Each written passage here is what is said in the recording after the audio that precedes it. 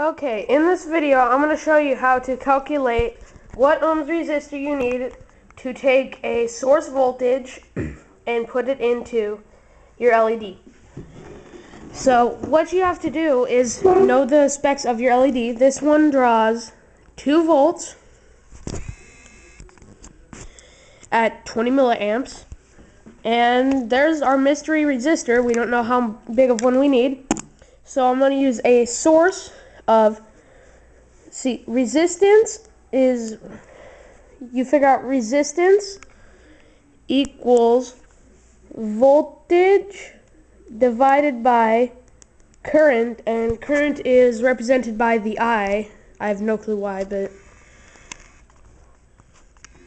it is. So we have to know our voltage which equals 9 over the current, which is our 20 milliamps from our LED.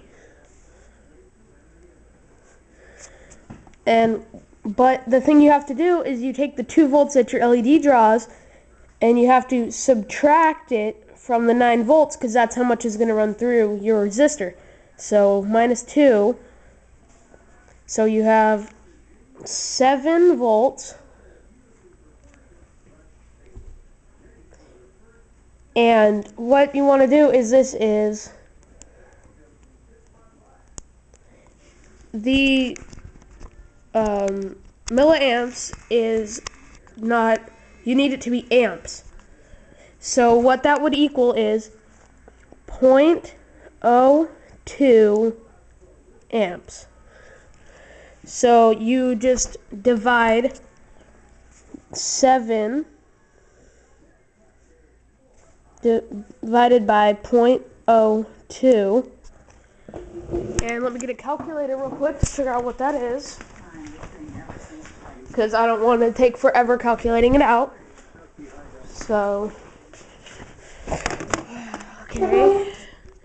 7 divided by 0.02 equals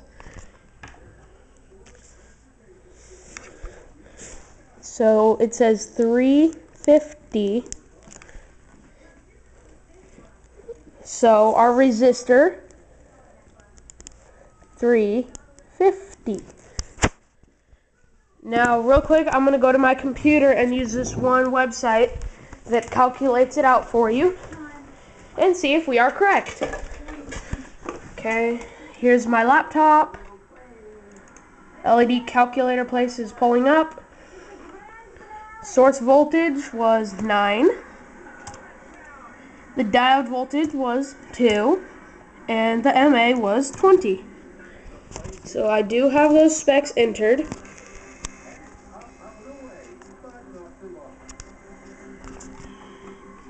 And we're going to calculate our resistor. And they get 390, which is a little off, but I'm going to go look at the resistors on this one website.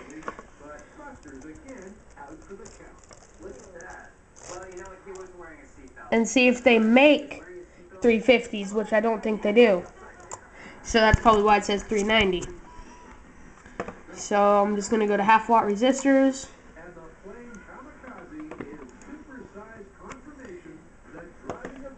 And they make 360s and then 390s.